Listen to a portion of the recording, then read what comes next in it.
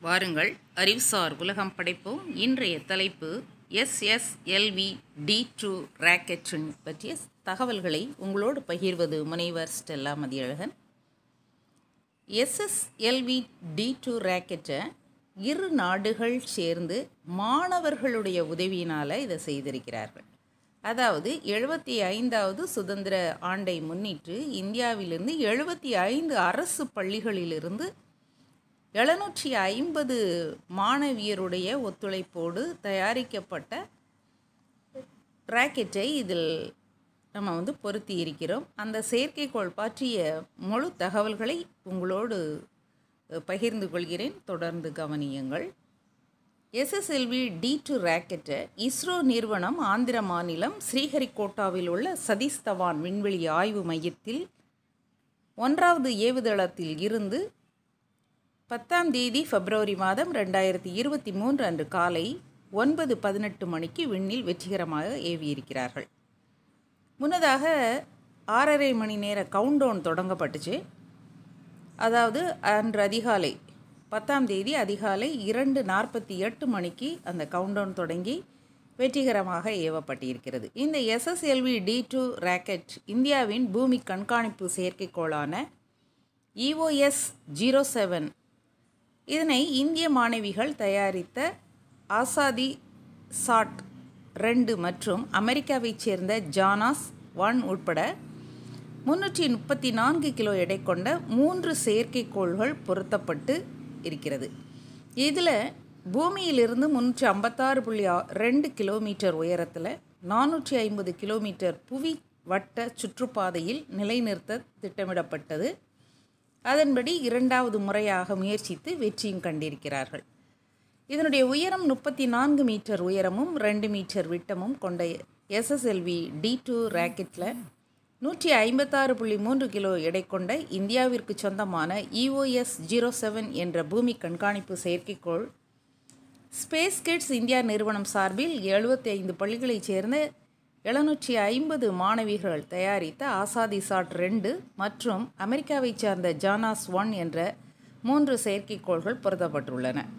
Rocket பூமியிலிருந்து புறப்பட்ட பதிமூன்று புள்ளி முப்பத்தி மூன்று நிமிடத்தில் நூற்றி ஐம்பத்தாறு புள்ளி மூன்று கிலோ எடை கொண்ட பிரதான செயற்கைக்கோளான இஓஎஸ் ஜீரோ செவனை திட்டமிட்ட புவிவட்ட பாதையில் நிலைநிறுத்தியது.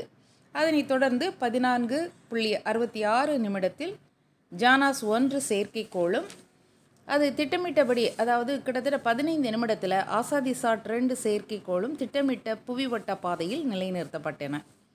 இந்த நிகழ்வில் ராக்கெட் டேபிள் நிகழ்ச்சிக்கு வந்திருந்த அமெரிக்க நாட்டை சேர்ந்தவர்கள் நிபுணர்கள் எல்லாம் இந்த நிகழ்வை பாராட்டி பேசினார்கள். அதே நேரம் வானம் தெளிவாக இருந்தனால இதை பார்க்க வந்த அனைவருக்குமே வந்து எளிதாக அந்த இரண்டு ராக்கெட்லேருந்து பிரிந்து சென்ற இரு நிலைகளையும் தெளிவாக பார்க்க முடிந்தது. எஸ்எஸ்எல்வி என்று அழைக்கப்படும் இந்த சிறிய மற்றும் மைக்ரோ அல்லது நேனோ வகையிலான சிறிய வகையிலான இந்த செயற்கைக்கோள்களை சுமந்து செல்வதற்காக இந்த வகையான ராக்கெட்டுகள் வடிவமைக்கப்படுகிறது. இது ரெண்டாவது முயற்சியில் வெற்றிகரமாக விண்ணில் ஏவப்பட்டிருக்குங்கிறது கூடுதல் சிறப்பு. இந்த ராக்கெட் ஐநூறு கிலோமீட்டர் புவிவட்ட சுற்றுப்பாதையில் பத்து முதல் ஐநூறு கிலோ எடை கொண்ட சிறிய செயற்கைக்கோள்களை நிலைநிறுத்தும் திறன் கொண்டதாக இருக்கிறது. எஸ்எஸ்எல்வி ராக்கெட் வடிவமைப்புக்கான நேரம் செலவெல்லாம் மிக மிக குறைவு. இதன் மூலம் அதிக செயற்கைக்கோள்களை விண்ணில் வந்து நாம் ஏவ முடியும். இது இன் இந்தியாவுடைய எழுபத்தி ஐந்தாவது ஆண்டு சுதந்திர தினத்தை கொண்டாடுவதை ஒட்டி நாடு முழுவதும் உள்ள பள்ளிகள்லேருந்து மாணவியர்கள் தேர்ந்தெடுக்கப்பட்டாங்க என்று சொன்னேன்.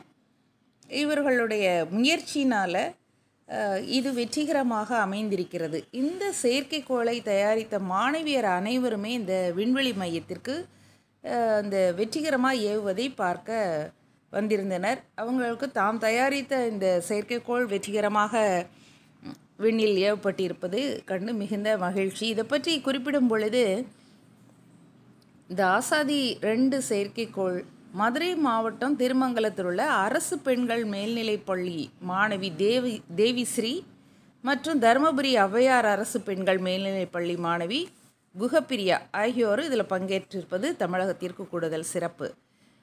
அதே மாதிரி அவங்க குறிப்பிடும்போது எங்கள் அரசு பள்ளி வரலாற்றில் பத்து ரெண்டு ரெண்டாயிரத்தி இருபத்தி மூன்று பொன் எழுத்துக்களால் பொறிக்கப்படக்கூடிய நாள் அப்படின்னு அவங்க தங்கள் மகிழ்ச்சியை பதிவு செய்திருக்கிறாங்க. அதாவது ஒரு கிராமப்புறத்தைச் சேர்ந்த தாங்களும் செயற்கைக்கோள் தயாரிக்கும் பணியில் பங்கு பெற்றது மிகுந்த மகிழ்ச்சி அப்படின்னு கூறியிருக்கிறார்கள். இந்த ஸ்பேஸ் கிட்ஸ் நிறுவனத்துடைய முதன்மை நிர்வாகி ஸ்ரீநிதி கேசன் குறிப்பிடும்போது அவங்க சொல்கிறாங்க விண்வெளித்துறையில் செயற்கைக்கோளை வடிவமைப்பதற்கு பள்ளி மாணவிகளுக்கு ஊக்கம் அளித்ததற்காக பிரதமர் நடு நரேந்திர மோடிக்கு மத்திய அரசிற்கும் இஸ்ரோவிற்கும் நன்றி தெரிவித்தது. மட்டும் இல்லாமல் அவங்க சொல்கிறாங்க எஸ்எஸ்எல்வி இரண்டாவது முறையும் ராக்கெட் மாணவியர்களுக்கு வாய்ப்புகளை அளித்து அந்த ஸ்பேஸ் நிறுவனத்துடைய உதவியினால் இன்று இந்த செயற்கைக்கோள் வெற்றிகரமாக விண்ணில் பாய்ந்திருக்கிறது.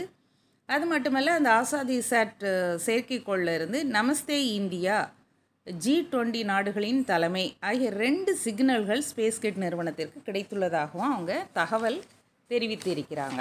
இந்த சிறிய மற்றும் நானோ வகை செயற்கைக்கோளை விண்ணில் ஏவுவதற்காக அதிக பொருள் செலவிலான பிஎஸ்எல்வி ரக ராக்கெட்டுகளை பயன்படுத்துவதற்கு பதிலாக இந்த சிறிய வகை ராக்கெட்டை வடிவமைக்கிறதுக்காக ரெண்டாயிரத்தி பதினெட்டாம் ஆண்டு இஸ்ரோ முடிவெடுத்து அதன்படி சிறிய வகை செயற்கைக்கோள்களை விண்ணிற்கு செலுத்துவதற்காக தான் இந்த எஸ்எஸ்எல்வி டி ஒன் ராக்கெட்டை வடிவமைச்சாங்க. இந்த முதல் ராக்கெட் வந்து ஏழாம் தேதி ஆகஸ்ட் ரெண்டாயிரத்தி இருபத்தி ரெண்டாம் ஆண்டு ஏவப்பட்டது. ஆனால் இதில் இஓஎஸ் ஜீரோ ஒன் மற்றும் ஆசாதி சாட் ரெண்டு என்ற செயற்கைக்கோள்கள் பொருத்தப்பட்டு இருந்தபோதும் இதில் பொருத்தப்பட்டிருந்த சென்சார் முறை சரியாக வேலை செய்யாதனால திட்டமிட்ட இலக்கில் செயற்கைக்கோளை நிலைநிறுத்த முடியாமல் போயிடுச்சு. அது தோல்வியில் முடிந்தாலும் தொடர்ந்து மேம்படுத்தப்பட்ட அந்த எஸ்எஸ்எல்வி டி டூ என்ற ராக்கெட் வெற்றிகரமாக ஏவப்பட்டிருப்பது இதில் பங்கேற்ற மாணவியருக்கு மட்டுமல்ல ஆனால் அதில் தொடர்ந்து பணியாற்றிய ஸ்பேஸ் கிட் நிறுவனம் அமெரிக்காவுடைய நிறுவனங்கள் இவங்க எல்லாருக்குமே வந்து மிகப்பெரும் மகிழ்ச்சியை தந்திருப்பது இந்த எஸ்எஸ்எல்வி டி டூ ரேக்கெட் வந்து வெற்றிகரமாக நிறைவேற்றியிருப்பது. இதன் மூலம் வந்து அந்த செலவுகள் குறையும் நேரம் மிச்சமாகும். மிகப்பெரிய ஒரு பண விரயம் வந்து தவிர்க்கப்பட்டிருக்கிறது. ஸோ இந்த புதிய கண்டுபிடிப்புகளில் அதுவும் அரசு பள்ளி மாணவ மாணவியருடைய பங்களிப்பு என்பது கூடுதல் சிறப்பிற்குரியது. அதுவும் பெண்களுக்கு எழுபத்தி ஐந்தாவது ஆண்டு சுதந்திர தினத்தில் இந்த பெண்களுக்கு முக்கியத்துவம் கொடுத்து பெண் குழந்தைகளுடைய அறிவாற்றலை இந்திய அரசின் வானியல் துறை மேம்பாட்டிற்கு பயன்படுத்தியிருப்பது பாராட்டுக்குரியது. நன்றி.